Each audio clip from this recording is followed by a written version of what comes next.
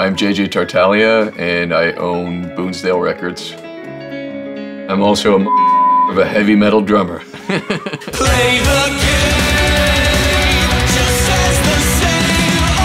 A lot of people think that when you get into the music business, you can just blow all your money and have a good time and live the rock star life. But the reality is, if you want to have a career in music, you got to think ahead and you got to be looking into the future.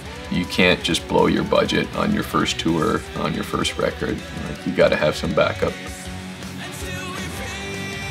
Going on the road, you really have to prepare financially because there's a lot of challenges that come with that. Like for example, if I'm going away for more than a month, I got to make sure that my rent is paid. With my finances, everything is on automatic payments. So like for example, my credit card gets paid automatically. Same with my bills, phone, internet, my insurance, everything is, uh, is automatic so I don't miss payment.